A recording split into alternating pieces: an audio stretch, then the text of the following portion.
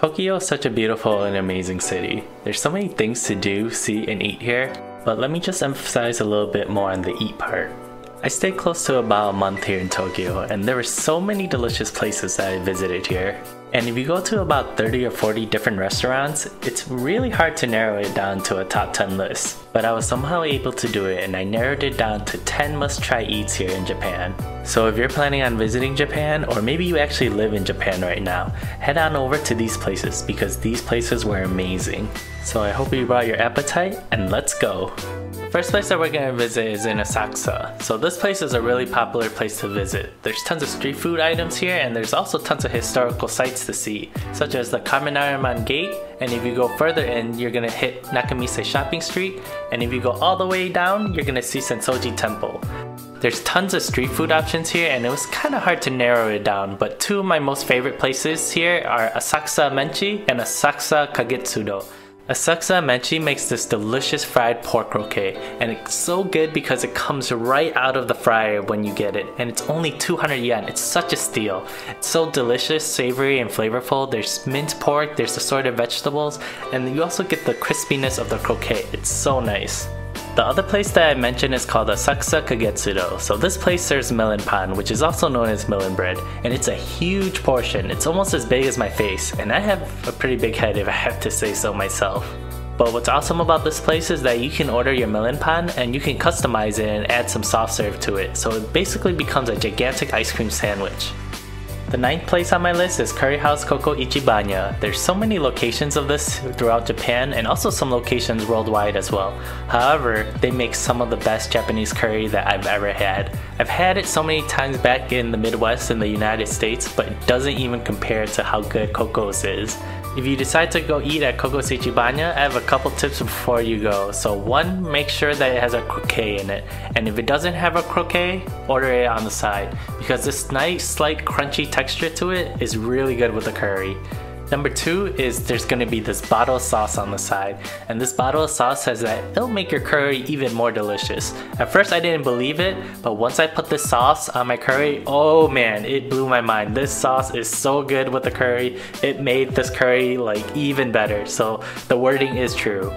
The eighth spot on my list is Suzuki-en Asakusa. So this place is really popular for their tea and gelato. And what's awesome about this place is they have about 14 different flavors and most of them are tea flavors. They have a couple non-tea flavors such as black sesame, strawberry, and red bean. And if you notice, there's a whole bunch of green shaded flavors here, and this is their 7 levels of matcha. And what's crazy about it is that their level 7 is basically a matcha overload. So all I could smell was matcha, taste matcha, and the only way to describe it was it was the ultimate matcha gelato, and it was fantastic. The next place that we're heading to is Croquant Chou Zaku Zaku, which is located in the busy area of Harajuku. So this place is really well known for their soft serve and also some of their pastries as well. The soft serve is so rich, creamy, and silky, it's pretty similar to a custard, and on top of it you get this nice slight crunch from the almond crisp. And if you're not a fan of soft serve, maybe you'll be more interested in their almond pastry instead that's filled with choux cream. Number 6 on my list is Zuicho, which is located in Shibuya. It's a little bit hard to find, but once you make it in, hopefully you'll be able to get seated right away since the restaurant only seats about maybe 6 or 7 people or so. It's not very many, but they serve a delicious katsudon here, which is basically a fried pork cutlet bowl. On your katsudon, what you're gonna get is a nice warm bed of rice, and on top of that, a nice runny egg with their house sauce on it.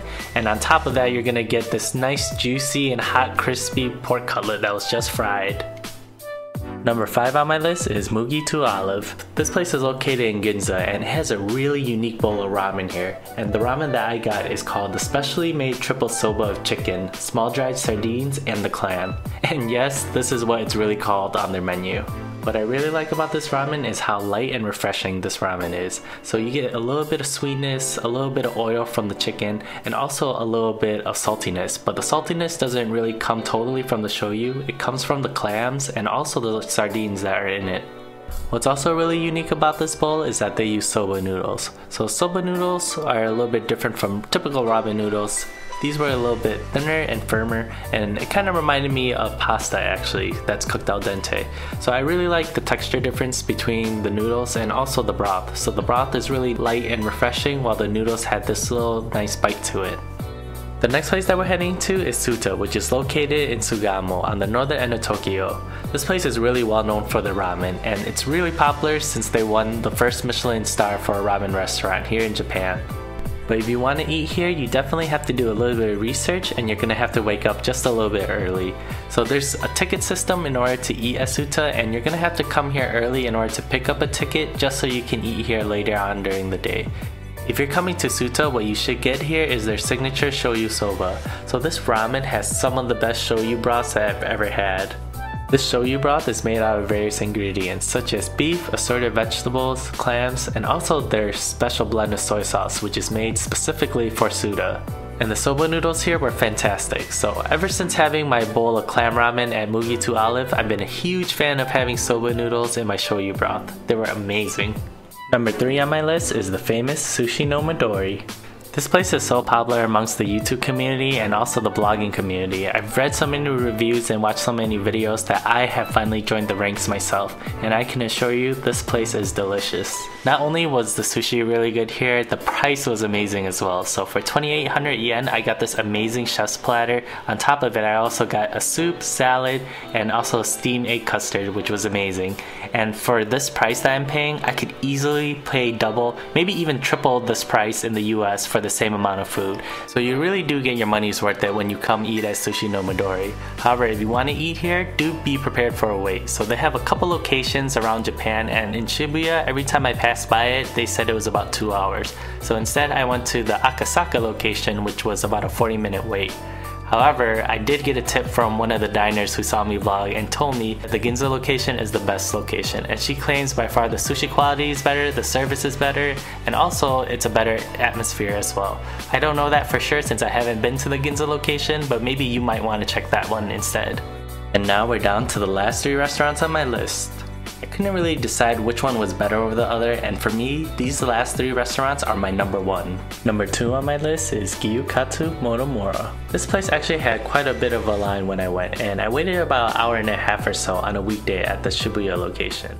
But luckily for you, I found out that they opened additional locations throughout Tokyo and also additional locations throughout Japan as well, so you can take your pick on which location you might want to visit. And what Gyukatsu Motomura is known for is for their gyukatsu, or also known as their fried beef cutlet.